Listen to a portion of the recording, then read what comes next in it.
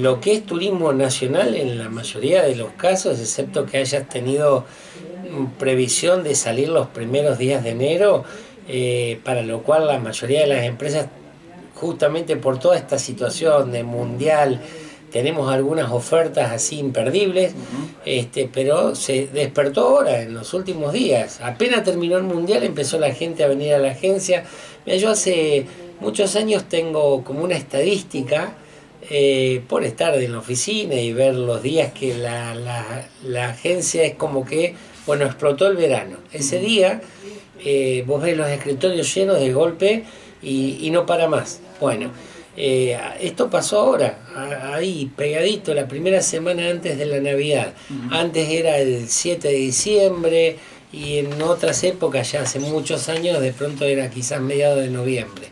Em, pero bueno, hoy se está trabajando ya fuerte sobre la temporada y con una temporada interesante en un montón de datos como para evaluar si nos gustaría vacacionar dentro de Argentina o en el exterior, ya que es el primer año que están abiertas las fronteras para poder salir y vacacionar afuera también. Claro. Marcelo, para la gente que está escuchando y dice, bueno, a ver, yo no me decidí todavía. Eh, quiero saber de precios en los destinos tradicionales, Córdoba, Mar del Plata o algún lugar de la costa eh, argentina. de cuánto tenemos que pensar un matrimonio? Mira, si pensamos viajar a la zona de sierras, si te gustan las sierras, que eso puede definirse en lo que sería eh, Valle de Punilla, Villa Carlos Paz. Bueno, nosotros somos la única empresa en Santa Fe que trabaja un destino y que este año lo hace como lo hacíamos hace creo 25 años y después lo habíamos dejado de hacer por ir y volver en rebotes, que es la falda este, que muy pocos trabajan, nosotros trabajamos con sistemas de turismo, o sea, el coche va, se queda con los coordinadores, hacen las excursiones, y eso está muy lindo porque es volver a hacer lo que siempre se ha hecho en turismo, que es que la gente pueda disfrutar de su coordinador, de los micros, de tener las excursiones con el propio micro con el que va.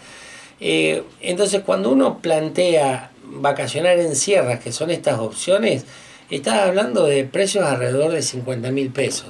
47, 49, eh, siempre contando de tener cinco noches, media pensión, el transporte y en el caso, por ejemplo, de la falda, tener las excursiones incluidas. Eh, ya para el que le guste la otra alternativa, que es la alternativa de ir a la zona del mar, eh, creo que como siempre, por una cuestión de, hotelería, de, capacidad de oferta, de, de alojamiento, siempre Mar del Plata, a pesar de que en estos últimos años se ha vuelto muy famosa, ¿no? Porque empezó a, tener esa preponderancia de ser un destino turístico importante. Eh, bueno, Mar del Plata está alrededor de los 77 eh, mil pesos, 78, depende de los hoteles. En el caso de, por ejemplo... ¿Siete noches? Siete noches, sí. Mar del Plata son siete noches con media pensión. Siempre las medias pensiones ya hace un tiempo que se estilan en Mar del Plata, que la gente eh, pueda elegir de almorzar o cenar y tenga para elegir lo que quiera comer. Y eso es bastante interesante. Y en uno, eso es un dos estrellas. Pero siempre cuando uno dice dos estrellas, antiguamente decíamos, bueno, tiene menos cosas. No, hoy un dos estrellas en Mar del Plata tiene aire acondicionado, este, televisión eh, digital eh, plana, eh, o sea, todas casi las mismas condiciones que un 3, a veces los 3 tienen de pronto habitaciones más grandes o mejores servicios. Este, y, ya para la zona de lo que es la costa atlántica, Villa Gesell, Valeria, San Clemente, siempre es un poquito más, alrededor de los 90, 80, de acuerdo al hotel, de acuerdo a las características. Hay otra gente que prefiere todo lo que es zona de cordillera. Y cordillera nosotros hablamos para el norte de Salta o los noroestes, que todos los años cuando nos toca tener la oportunidad de estar en algún medio de comunicación, siempre aclaramos algo que es un mito, que la gente suele no querer ir al norte porque dice, no, ¿cómo vas a ir al norte en verano? ¿Sí? Y, y yo siempre tengo la misma contestación, ¿no? Primero y principal, creo que tanto los sancarlinos como los santafesinos este, somos 4x4 en turismo, porque vivimos en un clima de humedad, de temperatura. Hemos, de hecho, vendemos viajes a cataratas en pleno verano y nos sentimos como en casa, porque allá también es lo mismo.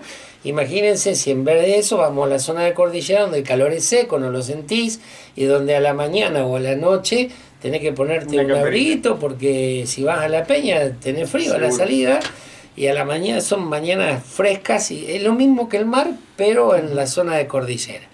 Así que bueno, sus saltas y noroestes también. Y ¿Desde qué precio salta? Viajes que están, eh, saltas de cuatro noches en los 80.000 y noroeste que son un poquito más largos y tienen más recorrido porque son casi 3.000 kilómetros la vuelta y hace Jujuy, Salta, Cafayate, Tucumán. Eh, están alrededor de los 89, 900, 90 mil pesos. Lo que sí está bueno dejar aclarado para el que viaje a Salta, porque a veces dice, bueno, pero voy a viajar y el viaje se me hace pesado por el calor. Hay una zona que no lo podemos evitar y que yo no podría hacer turismo ni nadie hace turismo, que es Santiago del Estero en el verano, ¿sí? Santiago del Estero en el verano, si uno quiere comerse un churrasco, lo tiran en el pavimento este, y ya está. Pero bueno, nosotros lo evitamos. Justamente vamos de noche a Salta y el último día de Salta, en vez de pegarnos la vuelta en la mañana y hacer un viaje tedioso durante todo el día, esperamos que se hagan las 6 de la tarde, vamos todo ese día a un lugar que tiene este, agua, pileta, pasamos un día hermoso, comemos un asado y a las 7 de la tarde tomamos regreso y pasamos Santiago de noche. Bien. Entonces ese es un día que no se cobra, se llama Day Off y, lo, lo ganamos justamente para que la gente haga un, un lindo viaje en pleno verano. Qué bueno. Marcelo, ¿te pasa que se acerca gente y dice, eh, mire, yo estoy interesado en viajar a tal lugar, pero quiero comprarle el hotel, no quiero este, el viaje completo, no, quiero el traslado porque voy con mi auto, disfrutamos con la familia, eh, o viceversa. ¿Te, pasa esa historia? Sí, ocurre, ocurre mucho. No es tanto... A ver, eh, a partir de las apariciones de, de Booking, Tribago y tantas páginas, a veces la gente este, suele más arreglarse su parte de alojamiento por ese medio de oferta, ¿sí? Eh, pero sí están los clientes viejos que de pronto son cinco en una familia y que quieren quedarse más días eh, o quieren que les armemos un viaje y nosotros se lo armamos especialmente porque justamente tenemos todos los hoteles de nuestra experiencia y, y no le sale más caro en absoluto. Es más, justamente como nosotros son hoteles que trabajamos durante toda la temporada y tenemos ofertas especiales, solemos ganar el precio a esas ofertas especiales que se hacen a través de los sitios. Y hay un, un sector también que de cordillera que es muy bonito, que estamos trabajando y que todos los años lleva mucha gente, que empezamos en enero y lo terminamos allá por las primeras semanas de marzo, este, que es la zona de Mendoza y San Rafael, eh, con dos destinos diferentes. Bueno, San Rafael es, eh, como te comentaba al principio, de las ofertas especiales, porque nosotros solemos los primeros días de enero, creo que dos o tres de enero, sacar un, un San Rafael de oferta, que en este caso, este, eh, si viajan cuatro personas, pagan tres, si viajan tres pagan dos. Y es bastante interesante porque justamente tiene buen precio porque se hace las primeras semanas de enero. Ya después los de mediados de enero y, febrero tienen el precio normal de alta temporada. Bien, estaba pensando mientras te escuchaba que mencionabas que hay mucha gente que, es cierto, compra por, por, por, eh, por internet este, en estas plataformas.